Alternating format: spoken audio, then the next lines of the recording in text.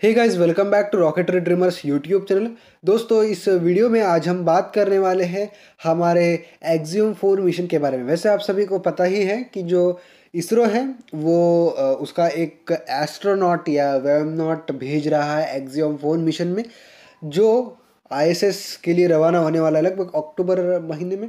Well well, ISRO इसके लिए पाँच ऑनबोर्ड एक्सपेरिमेंट्स प्लान कर रहा है प्लान किए हैं।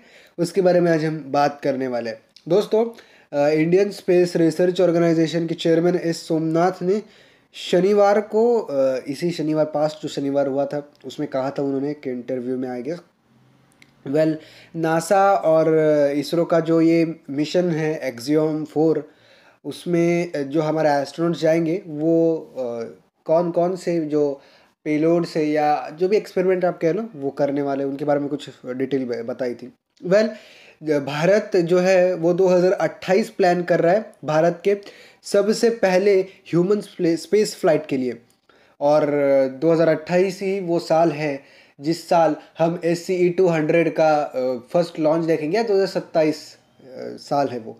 वेल well, इस ऑनलाइन इंटरेक्शन के दौरान जो हमारे चेयरमैन इसरो थे, उन्होंने कहा कि इंटरनेशनल स्पेस स्टेशन आईएसएस के लिए जो हमने मिशन प्लान किया है एक्जियोम फोर उसमें हमारा एक गगनयात्री जाने वाला है और वो गगनयात्री कुछ पाँच पेलोड लेके जाएगा। अभी यहाँ क्लियरली मेंशन नहीं कि वो पाँच पेलोड कौन से हैं आई मीन एक्सपेरिमेंट्स कौन से जो वहाँ होने वाले हैं।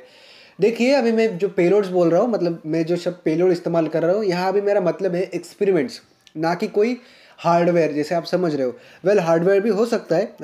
अभी हम श्योर नहीं है क्या है वो एग्जैक्टली exactly. तो पाँच एक्सपेरिमेंट्स होने वाले हैं आईएसएस पर और उसके बाद जो इंटरनेशनल क्रीव है आईएसएस पर ऑलरेडी उनसे भी हम हमारे जो इंडियन व्यायाम नॉट है वो थोड़ा बहुत उन, उन उनसे भी सीखेंगे कि भैया आप जब स्पेस में जाते हो तो कैसे क्या आपको रहना है कैसे क्या आप सारी चीज़ें करते हो एक्सपेरिमेंट्स वैसे वगैरह कैसे करते हो करते हो और वो सब। क्योंकि ये पहली बार है जब कोई इंडियन बंदा इसरो भेज रहा है उसे मतलब इससे पहले राकेश शर्मा जी गए हैं, अभी ये दूसरा है। वैसे वो काफ़ी सालों पहले हुआ था, तब हमारे पास इतने ज़्यादा रिसोर्सेज थे नहीं। अभी ये पहली बार है जब हमारी स्पेस फ़्लाइट होने से पहले कोई बंदा जा रहा है तो ये काफ़ी बड़ी बात है। सो हमें ये भी सारी चीज़ें देखनी होगी कि लॉन्च से पहले और लॉन्च के बाद क्या क्या चीज़ें होती है और वो उनको सीखनी भी है। क्योंकि जैसे मैंने कहा कि हमारे जो मतलब पर्टिकुलरली जो हमारे वैम नॉट है वो पायलट होने वाले हैं उस फ़्लाइट की। तो वो काफ़ी खूबसूरत सी चीज़ भी होगी हमारे लिए और गर्व की बात भी होने वाली है। वेल well, ये जो लॉन्च है ये लॉन्च दो हज़ार अट्ठाईस के लिए प्लान है मतलब इंडिया की स्पेस फ़्लाइट पहली। और एक्जियम फोर का लॉन्च बा, की बात करें तो वो अक्टूबर में होने वाला है इस साल। तो हम काफ़ी नज़दीक है अब प्रक्षेपण से। वेल well, काफ़ी सारा नॉलेज अभी हमें लेना है आईएसएस और उसके वर्किंग से। इंटरनेशनल क्रू कैसे काम करता है वो सब हमें जानना है। कैसे क्या कंडक्ट होता है ये मिशन वो भी उन्हें हमारे वेब नॉट्स को सीखना है और उनको ट्रेन करना है। ऐसे कुछ अभी चीज़ें, काम चालू हैं।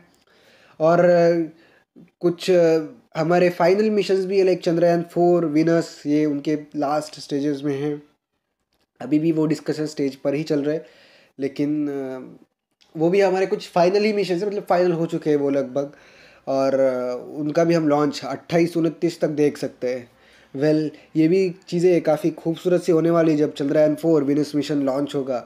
एक्जो प्लानट्स के लिए मून के लिए उसके बाद ये नासा की स्पेस फ़्लाइट जो आईएसएस को जाने वाली है उसके बाद 2028 में जो हमारा पहला गगनयान मिशन होने वाला है। क्रूड मिशन वो भी देखने लायक चीज़ होने वाली है क्योंकि ये सारी जो चीज़ें हैं वो मतलब इनकी जो मेडल फ़्लाइट होती है ना वो लगभग सालों में होती है। अभी इंडिया ने अभी तक उसकी मेडन फ़्लाइट नहीं की लेकिन जल्दी होगी वो तो भैया मतलब गर्व महसूस करने वाली चीज़ है। सो so, हम सब उसी के लिए मैं तो उसी के लिए रुका हूँ। वेल well, आपको क्या लगता है आप बताओ इस मिशन के बारे में आपके थॉट्स बताओ। ज़रा कमेंट में। वेल well, मैं हर बार आपको यही पूछता हूँ कि आपके थॉट्स बताओ लेकिन कमेंट तो कोई करता नहीं। प्लीज़ हो सके तो इस बार कर देना।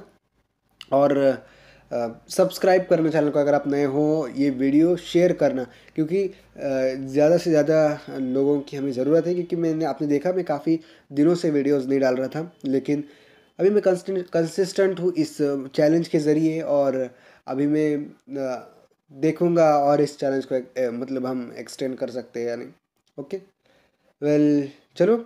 एनीवेज इस वीडियो को इतना ही रखते ख़त्म करते इस वीडियो को। मिलेंगे किसी और एक वीडियो में। तब तक के लिए जय हिंद वंदे मातरम।